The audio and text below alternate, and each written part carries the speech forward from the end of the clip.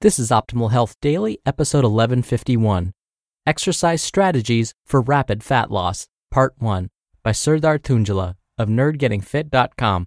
And I'm Dr. Neal, your very own personal narrator. Happy Monday, and welcome to another edition of Optimal Health Daily, where I read some of the best blogs covering health and fitness, just like an audiobook. And we have five shows narrating blogs. Just search for Optimal Living Daily to find all of them. Now, today's post is a bit longer than what I typically narrate, so I'll read the first half today and then finish it up for you tomorrow. But for now, let's get right to it as we optimize your life. Exercise Strategies for Rapid Fat Loss, Part 1 by Serdar Tuncali of nerdgettingfit.com. Do you have to exercise for fat loss? Not necessarily, but it certainly helps. You have to be careful though. Approaching exercise for fat loss haphazardly might hinder your results in the long term. When it comes to fat loss, one of the most confusing parts of exercise science, you get conflicting recommendations, and you don't know which one to follow. In this post, I'm going to try to clarify this and give you actual exercise strategies for fat loss. Why do we exercise? What is the point of exercising in the first place? You need to design your exercise routine based on your goals. For example, if your goal is to increase your lung capacity and aerobic threshold, high intensity interval training is your best option. On the other hand, if you're trying to improve your stamina, long, steady state cardio will work better. If you want to get stronger, lifting heavy weights in the lower rep range is the way to go. As you can see, different exercise methods work better for different goals. In this post, my recommendations will focus on exercise for rapid fat loss. How fat loss works. Fat on your body is the reserve energy source. The only way to reduce your fat mass is to create a need for this reserve energy source. If you are already giving your body the energy it needs, there is no reason to tap into the fat for energy. So, we need to burn more energy than we take in to burn fat. There are four ways we burn energy 1. Basal metabolic rate. This is the amount of energy we burn at rest. The basal metabolic rate is pretty much set for everyone, and there's very little we can do to change this. The basal metabolic rate is regulated by our age, sex, body weight, and fat free mass. The best thing we can do to keep our basal metabolic rate high is to have as much fat free mass as possible. 2. The thermic effect of food.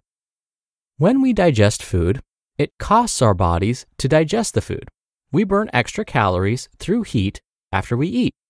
Every macronutrient has a different thermic effect, protein being the highest. 20 to 30% of the calories you eat from protein are burned through heat. This number is around 5 to 10% for carbohydrates and 0 to 5% for fats. 3. Non exercise activity thermogenesis, or NEAT. From the time you wake up to the time you go to bed, you move. Get out of bed, take a shower, walk to your car, climb the stairs, talk to your friends, fidget, dance, etc. We burn calories with all of this activity, even though we are not exercising. The amount of calories we burn through NEAT varies a lot from person to person. Genetics, hormones, and daily habits affect how many calories we burn throughout the day. The most significant difference between naturally overweight people and naturally lean people is the number of calories they burn through NEAT. The difference can be thousands of calories a day. The best thing we can do to increase NEAT calories is to take every opportunity to move more during the day. 4. Exercise. The last way we burn calories is exercise. Whether it is cardio, strength training, or circuit training, we burn calories during exercise. However, the amount of calories we burn during exercise is usually overestimated by those calorie readouts on cardio machines or by the activity trackers we wear. I'll give you an example. Julia Belluz spent 90 minutes exercising on a bike at the National Institutes of Health, who accurately measured the amount of calories she burned during this 90 minute session. It was determined that she only burned 405 calories throughout those 90 minutes. Since fat loss is about creating a calorie deficit, is exercise essential? Can't we just eat less and follow a sedentary lifestyle?